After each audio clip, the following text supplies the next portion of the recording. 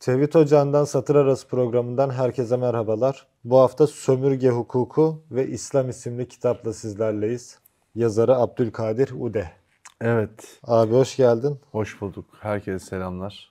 Yavaş yavaş sorular gelmeye başladı. Evet, tek sorunumuz sorular kitap özelinde değil, çok Evet. geniş çerçevede geliyor. Sevgili dostlar, haftaya işleyeceğimiz kitabın içinden sorular olursa çok mutlu oluruz. Çünkü diğer kısmını zaten baharat yolunda vesilelerle cevaplandırıyoruz. Var mı kitapla alakalı olan soru cevaplandıracağımız? Ee, Doğrudan kitapla ilgili göremedim. Yakın bir şey cevaplandıralım mı varsa Bismillah olsun diye Peki. bir yerinden tutmak nasip olur belki diye söyleyelim.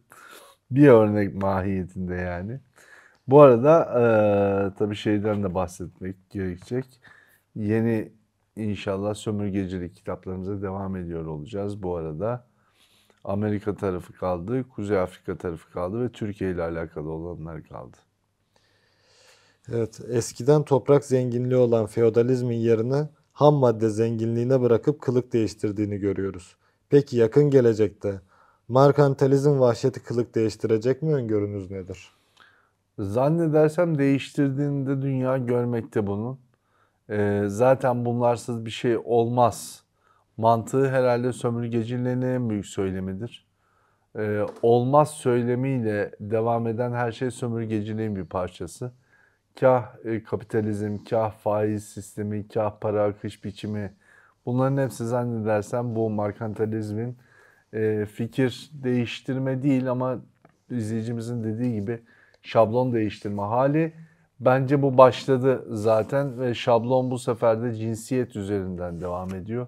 Şablon bu sefer tarım üzerinden devam ediyor. E, kültürel tarafta gerçekten yapılacak şey az kaldı ama devam ediyorlar.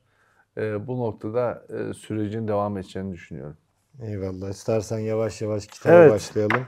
Kitabımızın yazarı 9 Ocak 1954 yılında 47 yaşındayken Firavun Nasır ve Hempalarınca ifadeleriyle id- idam edilerek Şehitler Kervanı'ndaki yerini aldı olarak beyan ediliyor. Allah rahmet eylesin elbette ama bir ince taraf Hasan el-Benna ve İhvan-ı Müslim Teşkilatı'nda vazife etmiş olan bir isim. Ee, bu teşkilatın pek çok problemli yapısını zaman zaman ifade ettik ve etmeye de devam ediyoruz. Hem Hasan el-Benna'nın hem Müslüman kardeşlerin İslam'ı algılayış biçiminde ya da yaşayış biçimlerindeki problemleri izah etmiştik çoğu zaman. Hakikat burada da onun çok izlerini görüyoruz. Çünkü Maalesef. İngiltere'nin Mısır'da yapmış olduğu zulmün ne olduğunu anlatmaktan çok bu zulmün karşısında yola çıkan insanların bir mürebbisiz varlık kayıtlarını kendi üzerlerinden inşa etme çabalarını görüyoruz ve bu inşa çabasında her seferinde duvara tosladığını biliyoruz. Bu duvara toslama meselesi bu insanların kötülük istediklerinden kaynaklanmıyor elbette ama sonuçlarının kötü olduğu çok ortada bir şeydir. En son yaşanan olaylardan Mısır'da Mursi'nin idam sürecinde de bu vardı.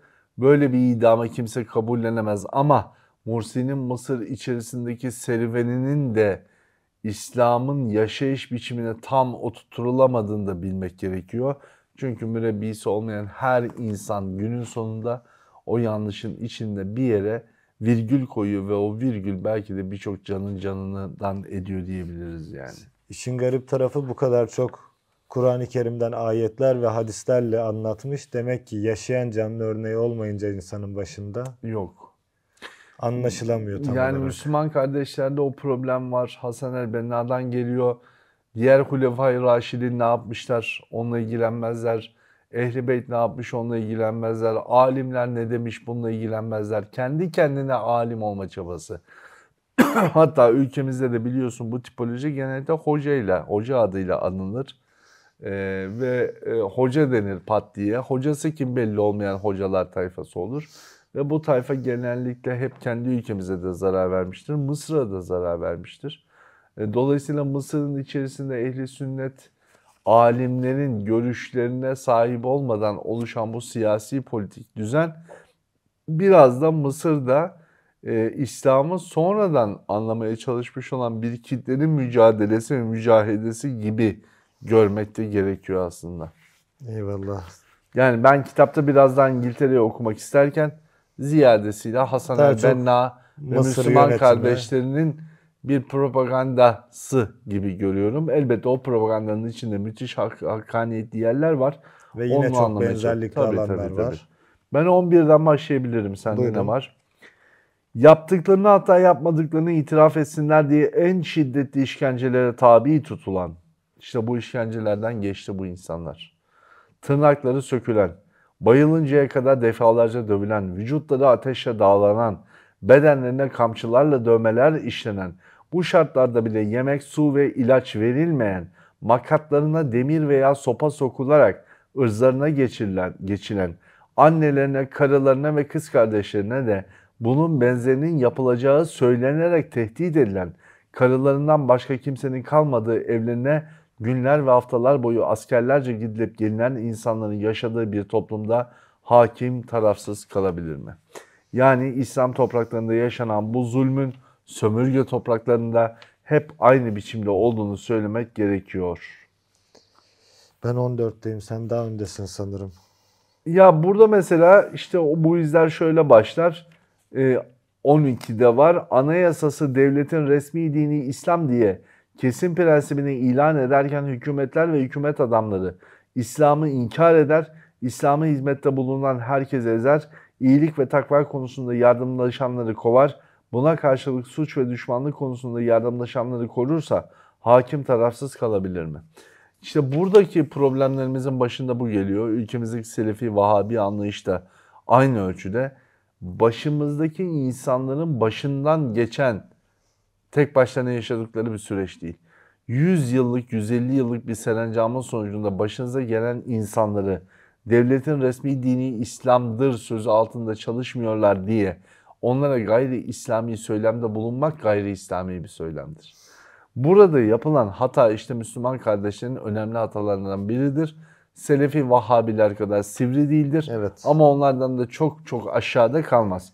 Bu onların da en büyük hatalarından biridir. Çünkü hakikati söylemek için bile bu hakikatin içinden bu, bu yolculuğu yapmanız gerekiyor. Bu yolculuğu yapmayınca 13'teki şu ibare oluyor. İslam ülkesinde hükümet bu kanunlarla Allah'ın helal kıldığını haram, haram kıldığını helal sayarlar. Şimdi anlamadığınız şey şu, onlar saymıyorlar. Onların içinden geçtikleri sürecin yasası bu. Bu yasanın değişmesi için gereken süreci başlatmaya verdikleri mücadele belki 5 yılda mümkün değil. 10 yılda mümkün değil, 20 yılda mümkün değil. Neyle mümkün bu? İnsan yetiştirme tipinizle mümkün. Yani sizin ülkenizde bugün, şimdi, yani ben bunu defaatle hep anlatırım. Fatih Camii'nde bir gün otururken Zat-ı Muhterem'in güzel bir ibaresi vardı. Bugün şu camide şeriat gelsin deseniz cemaatin %70'i hayır diyecek. Çünkü faiz iptal olacak. Efendim birçok şey iptal olacak. Hakkaniyet hasıl olduğunda hakkaniyeti yaşamayan, hakkaniyeti arzulayan, yaşamadan arzulayan insan tipi bunu reddeder. Dolayısıyla bu insan tipini oluşturmadığınız sürece de ne yazık ki bu söylemler e, radikal olarak adlandırılmasının daha tabii bir süreçle karşılaşamayız. Gayrimüslim bir hakim olsaydım, Batılıların yaptığı gibi ka- kanunu övmeyi dilime tesbih edinirdim. İslam'ı bilmeyen Müslüman bir hakim olsaydım, Avrupalıları taklit eder, kanuna iman imanımı bildirirdim. Ancak ben Allah'ın bol ihsanı sayesinde İslamiyet'ten birçok hakimin bilmediği kadarını bilme nasibi olan insan yapısı kanunların ise İslam'a aykırı düşüncelerini de birkaç kişiden başka kimsenin bilmediği kadar bilen Müslüman bir hakimim. Şimdi bir taraftan evet hukukun üstünlüğü konusunu öne çıkartıyor. Batılıların başka tutunacak bir dalı olmadığını ve kendi yaptıkları kanunları üstünleştirme çabasını anlatıyor. Burası güzel.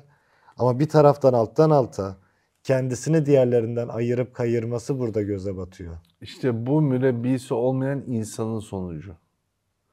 Yani bunu ortadan kaldırabileceğiniz insan tipolojisi onları ezmek değil. Ve bunu yaparken kendinizi üstün görmek değil. Hatayı beyan sizi üstün kılmaz. Hatayı gören hatasızlığının delili olmaz. Dolayısıyla burada Müslümanın o latif halinden sıyrılmış hoyrat biçimini görüyorsunuz. Elbette hoyratlığa mahkum edilmiş toplumun çocuklarının bu cümleleri kurması gayet de tabii. 15'te şu ifade var. Müslümanı Allah'a itaat durumundan çıkaracak herhangi bir hususta ulul emre itaat farz, farz değildir. İşte bu şimdi şöyle bir durum var. Esasen doğru tamam ama bu hangi esasla doğru? İslam ile yönetilen bir ülkede bu esas doğru. İslam ile yönetilmeyen bir ülkede yine ulul emir var. Darul harp değilse darul İslam'dır. Orada ulul emrin söylemi değil, o söylemden sonrası hedef edilir. Yani bir şeyi değiştirmek istiyorsanız onun içinden geçmeniz lazım. Ya bizim ülkemiz şu anda sömürgecilik tarihinden habersiz, başka ülkelerle bizim ülkemizde yapılan şeylerin aynı olduğunun daha farkında değilken, bunun içinden geçen sürecin farkındalığını oluşturmadan tek başınıza bu beyanatınızın imkanı yok. Dolayısıyla burada şunu anlamasın izleyicilerimiz.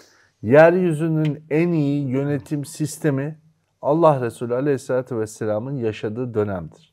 Hulefai Raşidindir. Yönetim biçimleri Kur'an-ı Azimüşşan'ın hakikati Hazreti Peygamber'in hadisidir ama ardından gelen Hazreti Ömer'in de duruşu vardır. Ebu Bekir Efendimiz'in duruşu vardır. Hazreti Osman, Hazreti Ali Efendimiz devam eder. Hazreti Hasan, Hazreti Hüseyin Efendimiz. Şimdi o duruşlar dahil edilmiş değil mi sisteme? Evet. Yani tek başına Kur'an-ı Kerim'in ayetleriyle gitmiyor. Çünkü örfi hukukta çok şeye imkan vermiştir. İslam'dan hariç hiçbir yönetim biçimi halkın kendi içerisindeki problemlerini kendi kendine çözmesi bu kadar tavsiye etmez. Yani o yüzden izleyicinin de bilmediği bir şey var. Sanki İslam şeriat ve kanunnamesinin çok uzun, çok detaylı olduğunu zannederler. Hayır, ana kıstaslardan sonra furuat denilen kısımda o kadar fer'i hükümler vardır ki o da şer'iye dahildir bu halde. Fer'i şer'iye dahil olur. Yani o furuat kısmının örf ve adetle olan ilişkisini de bunlar bilmiyorlar. Unutuyorlar, es geçiyorlar. Millet de şey zannediyor. Gerçekten işte 2000 maddelik bir liste var zannediyor. Veya tek bildiği şey işte hırsızlık yapan adamın kolu kesilirmiş. Aynen öyle. O kol kesilene kadar en az 200 tane problemin o eveti lazım. Gündüz yaptıysa elini kesemezsin. Fakirse elini kesemezsin. Ya 200 şey ardı ardına Kıstaslar bilinmiyor ama belli spot cümleler Spotlar biliniyor. Yani o işte e, batılı jargonda yetişmiş adamın kafasındakiler var. Müslümanınsa yaşanmışlıktan pek haberi yok. Çünkü yaşamıyor. Yaşayan bir zat ile beraber değil. O yüzden bunları göremiyor. Ben 18'e geçiriyor, geçiyorum Buyurun. şimdi arası yoksa. Şurası ittifakla kabul edilen bir noktadır ki iyiliği emir ve kötülüğü yasaklama işi insanların dilerlerse yapacakları dilemezlerse yapmayacakları bir hak değildir. Bu Müslümanın vazgeçemeyeceği farz olan bir görevdir. Bunun yüküne katlanmaktan başka çareleri yoktur. Bu biraz da özellikle günümüz Filistin meselesine de atıfta bulunuyor ki Hmm. kitapta görüyoruz Filistin o gün de aynı durumdaymış. Evet. Aynı problemler o gün de vardı. Yeni bir şey değildi. Yani biz Müslümanlar olarak bana ne deme hakkına sahip değiliz. Kesinlikle değiliz. 20'de önemli bir ibare var 21'e uzanan. Topluluklar ancak kanunlarla düzenlenir. Zulümler onunla önlenir. Haklar konulur. Adalet dağıtılır. Kısacası millet idare edilir. Tamam. Şimdi işte bu kanunnamenin dışında İngiltere'nin Mısır bölgesinde yapmış olduğu zulmde zaten bu kanunları nasıl iptal ettiği görülüyor ki copy paste, kopyala yapıştır yapsanız benzerlerinin kendi ülkemizde yaşandığı görülür ki e, ondan sonraki süreçte onu okumaya başlıyoruz. Aynen öyle. Dünyanın neresinde olursa olsun 24. sayfada. Kendi milletine uygulamak üzere başka milletlerden kanun alanlar daima o kanunlarda bir takım değişiklikler yani adaptasyon yapma ihtiyacı duyarlar. Kanunun girdiği toplumun hayatıyla bağdaşması ve sosyal bünyeyle uyumlu olması için aynen alınmaz. Bu takdirde değişikliğe uğratılmadan başka milletin kanunlarını alan millet kendi adet, gelenek ve inançlarından, kısacası orijinal yapısından vazgeçmiş demektir. Ne var ki gerek Mısır'da ve gerek bazı İslam ülkelerinde başka milletlerden kanun alınırken bu hususa dikkat edilmemiştir. Avrupa kanunları kayda değer bir değişiklik yapılmaksızın olduğu gibi bu ülkelere nakledilmiş, 13 asır boyunca İslam'ın hakim bulunduğu milletlerde mecburi kanun haline getirilmiştir. Bu kısımlar oldukça haklı olduğu kısımlar. Gerçek bu ama işte burada problem şu. Bunu biz bu ülkeleri, İslam ülkelerine kopyala yapıştır yapmadık. Bu bizzat böyle yapacaksın denildi yaptık. Yani şurada bir hataya düşmeyelim. Türkiye Cumhuriyeti medeni hukuku kendisi değiştirmek istese de değiştiremeyeceği bir pozisyondaydı. Yani onu alacaksın de alındı. Bu kadar basit. Çünkü şunu söyleyeyim. İttihat Terakki'yi bugün yan yana koyun. Yeni bir anayasa yazabilecek, beğensek de beğenmesek de. Yeni bir yasa, yeni bir medeni hukuk yazabilecek kabiliyetli insanlar. Bu kabiliyetinizi bir cümle bile kullanmamışsanız, bir cümle, bir maddede bile kullanmamışsanız, birebir yapmışsınız bu kitapta olduğu gibi ve Mısır'da da aynısı. Ve Cezayir'de de aynısı ve Irak'ta da aynısı Suriye. E, o zaman Gittik Hindistan'da da aynısı. e, o zaman demek ki buna sen tercih etmemişsin. Bunu alacaksın denmiş sen yapmak zorunda kalmışsın. O zaman yönet o dönemin yöneticilerin tamamen tahakkümat altında bırakıyorlar. Tamamen. Tamamen yani, Yani burada içinde bulundukları şartları görmezden gelmek yani var. bu bu kadar. Bu, bu- yani o dönemin yaşandığı o dönemin içinde sonucu böyle görüyor olabilirsiniz. Ama sonuçları değerlendirirken o olaylarda gerçekten ne olduğunu henüz kitaplar yazmadı. Ama yazılan kitapları yan yana koyuyorsun. Hindistan'da olan Mısır'da olmuş. Mısır'daki ceza e, bu, bunlar tesadüf de denmez. Bunlara e, ancak tahakkümat denir. Başka bir şey denmez. E, Dolayısıyla biz bunu seçtik. Ya nasıl seçtik? Biz bunu seçmeyi bilirdik. Hani Osmanlı'nın getirmiş olduğu mecelleyi iptal edersin. Kabul. Başka bir dünya hayatı istiyorsun. Tamam. Bize uymasa da tamam. Ama gidip sen İsviçre'nin medeni hukukunu alırken birebir almazsın yani. Zaman mı yoktu yani? Vardı. Efendim 27'ye gittim ben. Olur. 1945 yılında İngiltere yalnız Mısır'a 500 milyon lira civarında Evet. borçlu olarak harpten çıkmıştı. İngiltere'nin Mısır'a borcu var. Evet, Bu, borca borca da- sterlin hesap bakiyesi denir. Mısır'ın kanunları İngilizlere Mısır'ı soymayı, mallarını gasp etmeyi hatta ağızlarındaki lokmaları almayı mübah kılmaktadır. Gerçekten Mısır kanunları Milli Banka'ya ki aslında bir İngiliz müessesesidir. Merkez Bankası'ndan bahsediyor. İngiliz hazine senetlerinden kalan hesaplar karşılığında altın hesap bakiyesi yerine kağıt mısır parası çıkarma müsaadesi vermektedir. Dolayısıyla şimdi e, çıkarın Mısır'ı yazın Türkiye'yi. Aynısı. Ve o 29'un başında sende sonu var, bende başı var.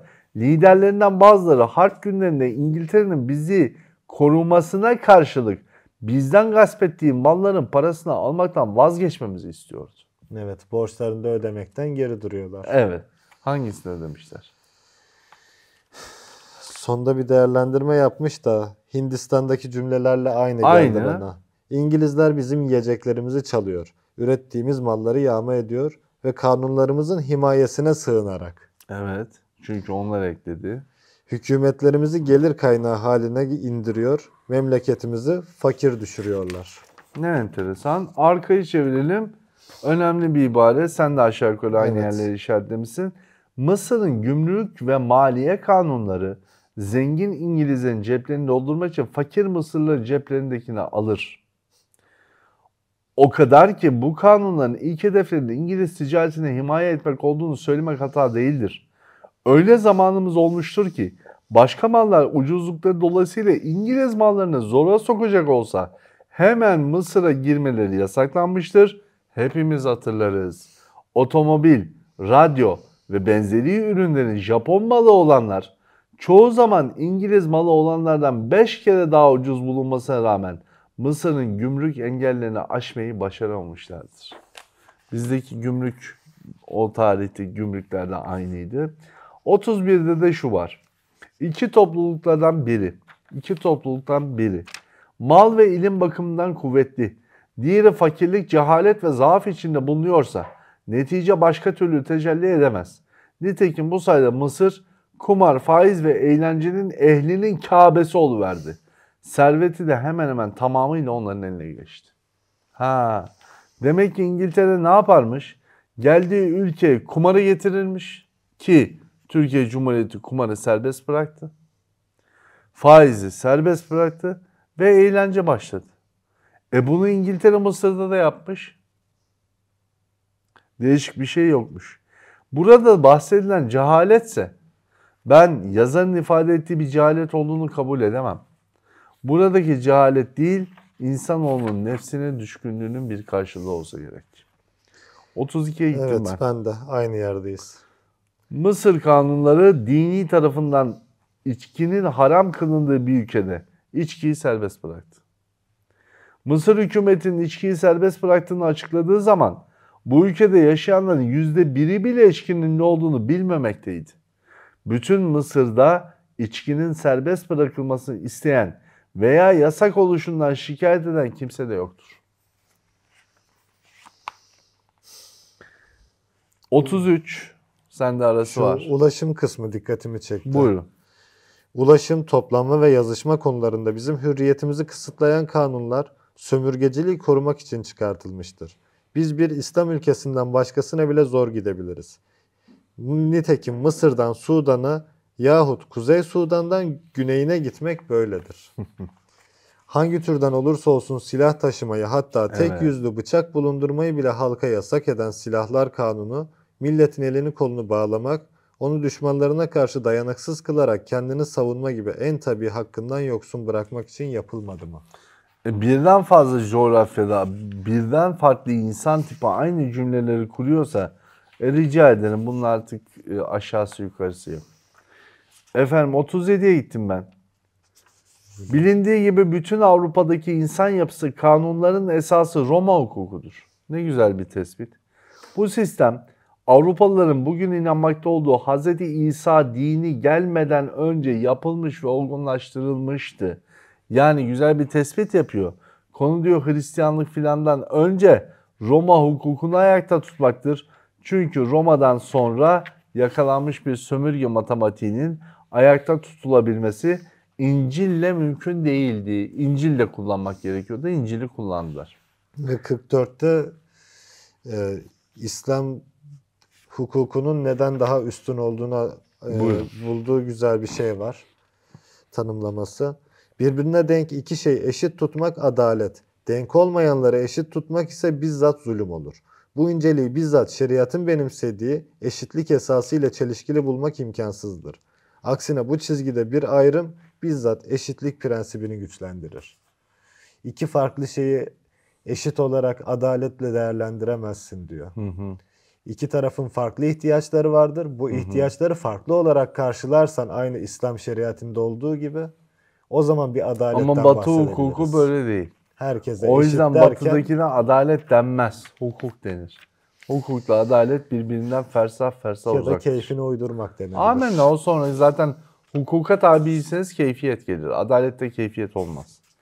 47'ye geldim. Ee, gerçi burada işte benim başında söylediğim cümlenin aynısını söylediği için 48'e geçeyim. Mısır, Hicaz'ı, Sudan'ı ve Şam'ı kendi topraklarına katabilmiş. Osmanlı İmparatorluğu'yla harp etmiş. Hatta Avrupa devleri üzerine çullanması İstanbul'a girmesine ramak kalmıştı.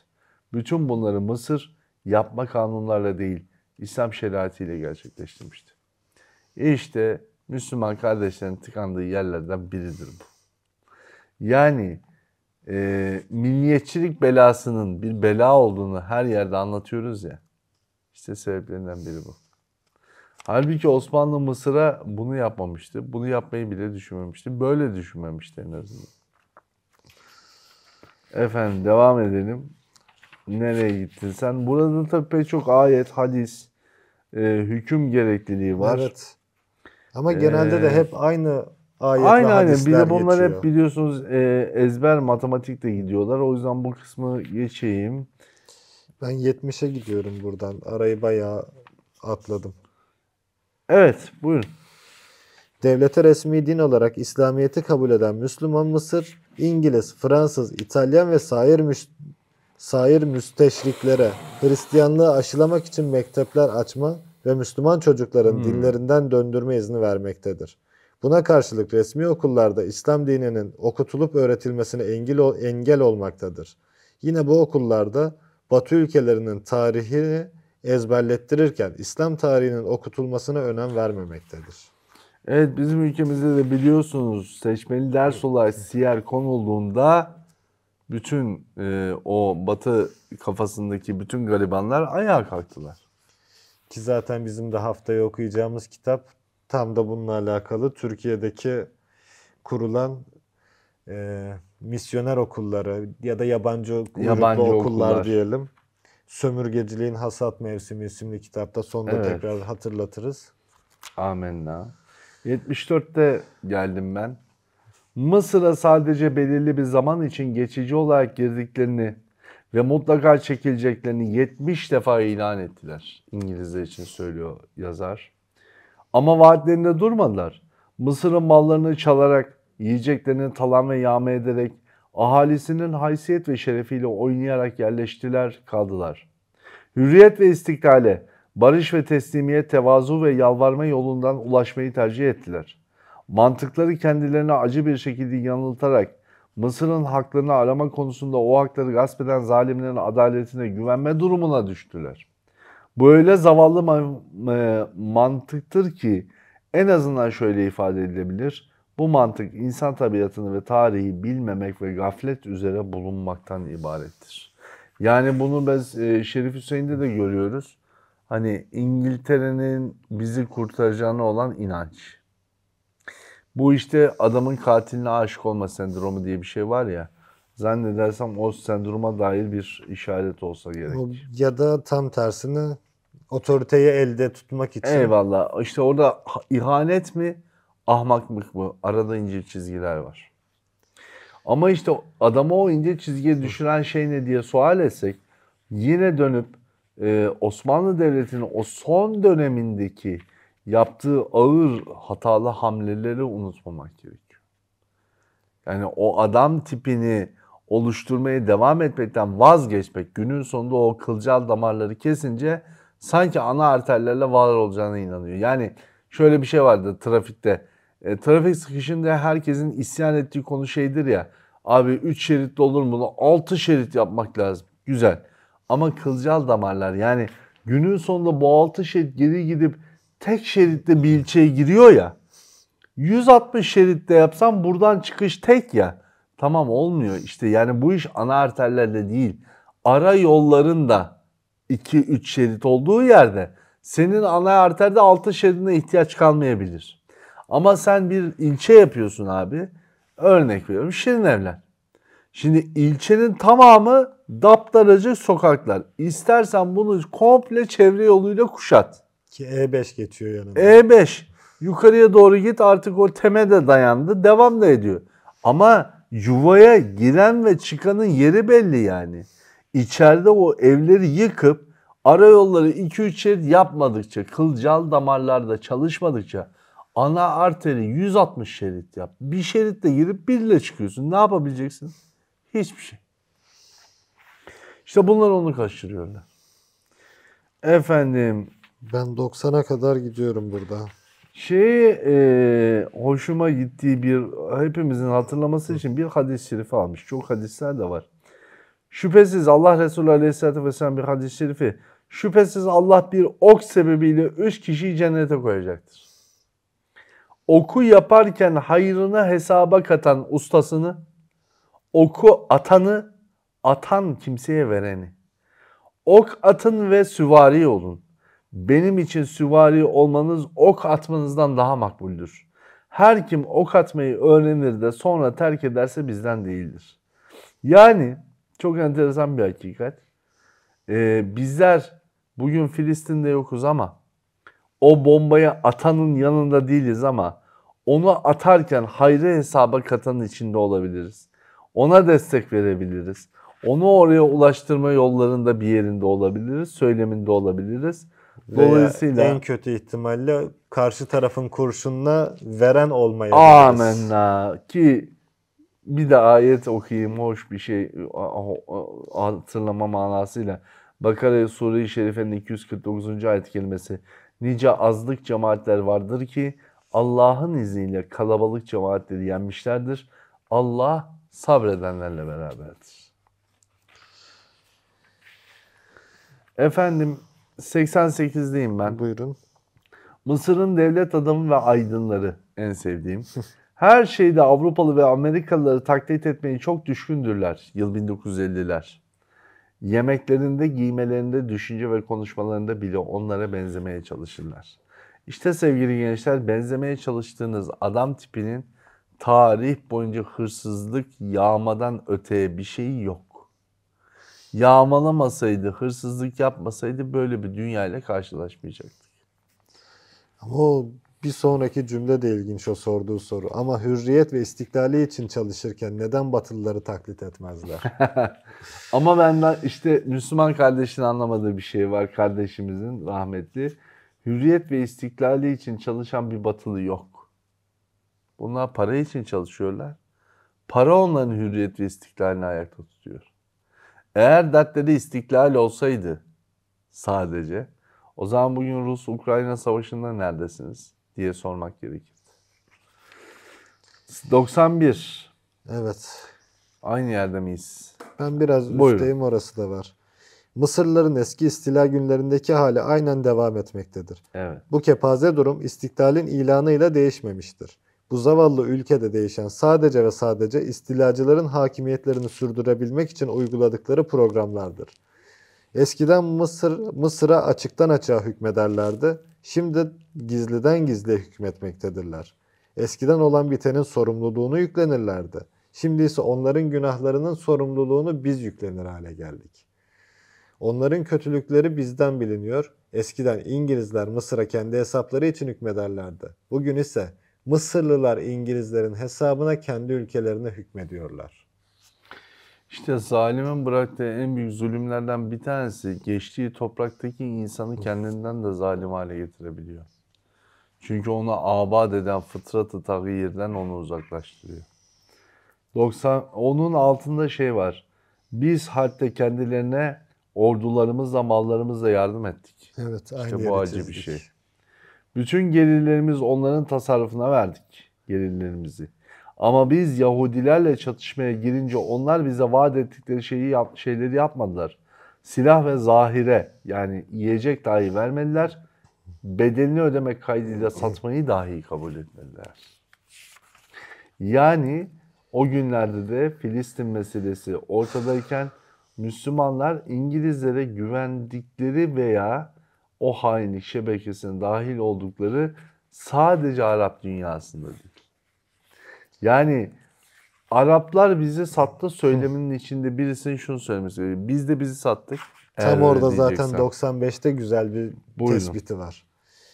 1914 ve 18 yılları arasında ve Büyük Cihan Harbi sırasında işler İngilizlerin aleyhine döndüğü zaman bunlar olmuştur. Doğuda Türkler, batıda Sunusiler Mısır'ın kapılarına kadar yaklaşmışlardı.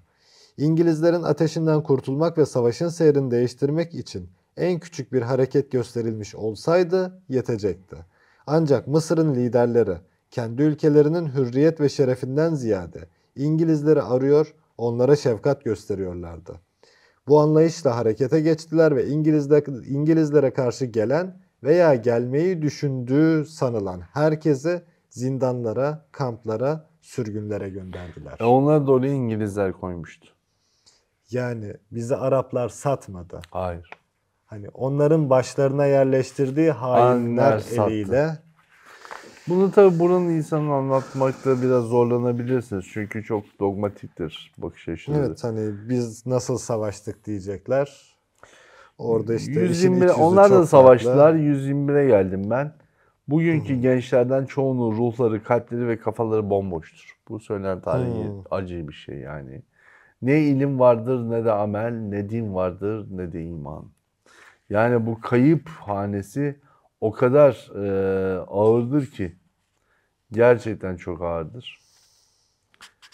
Efendim sona doğru gidiyoruz 125'te zannedersem. güzel bir alan var yine. Bu arada ha, sen 125 sonra ben 126'yı vereyim. Gerçekten Mısır milleti birbirlerine nefret besleyen muhalifler toplamından ibarettir. Orada adalet düzeni yoktur. Fertleri arasında yardımlaşma, iyilik ve birbirine acıma kalmamıştır. Gerçekten Mısır uçurumun kenarında durmaktadır. Onu bu uçuruma yuvarlanmaktan kurtaracak olan yalnız İslamiyettir. Nefisleri diriltmeye, kalpleri temizlemeye, durumu düzeltip kuvvetleri birleştirmeye güç yetirecek olan sadece İslam'dır. Bu ümmeti selamet ve emniyet toprağına çıkarmak için kumandanlığa ehil olan O'dur. Amen. Bugünkü durum için biraz benzer geldi de. Evet. 126'da şey var. İslam'ın ilk düşmanı sömürgeciliktir. Çok güzel bir hakikat. Ve Evet, arkada eee, 128'de Bakan Glad'ın konuşmasını almış. Evet.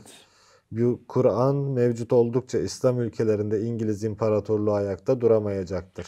İşte burada e, bu hakikati onlar görüyorlar.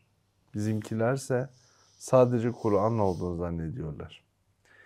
İslam ülkelerinin okullarında din dersinin okutulmasını engellemek ve okul kitaplarının tamamıyla Avrupa'dakilerden tercüme edilmesini sağlamak konusunda sömürgeci ve misyonerlerin istekleri kabul edilmişti cümlesini biz önümüzdeki hafta kitapta Evet. bakalım Türkiye'de bu iş nasıl yürüdü anlamaya çalışıyor olacağız.